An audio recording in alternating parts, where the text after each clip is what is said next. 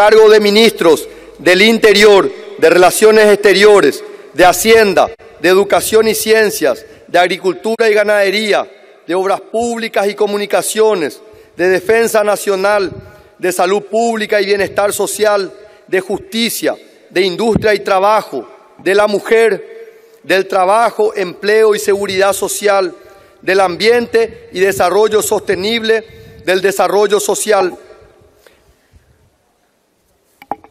del Desarrollo Social, de Urbanismo, Vivienda y Hábitat, de la Niñez y la Adolescencia, de Tecnologías de la Información y Comunicación, respectivamente, observar y hacer observar la Constitución y las leyes. Si así no lo hicieren, que Dios, la patria y el pueblo paraguayo se lo demanden. A continuación, el saludo protocolar de los ministros del Poder Ejecutivo al excelentísimo señor presidente de la República, Santiago Peña Palacios. Bueno, acá arranca el saludo uno a uno de todos los que han sido nombrados.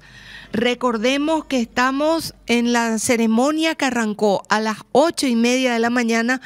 Llevamos una hora de ceremonia en la cual hemos eh, visto el momento en el cual eran investidos el nuevo presidente de la República y su vicepresidente.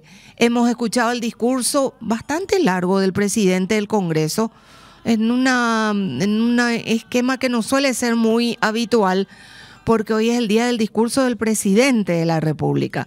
Pero Beto Velar hizo un encendido discurso.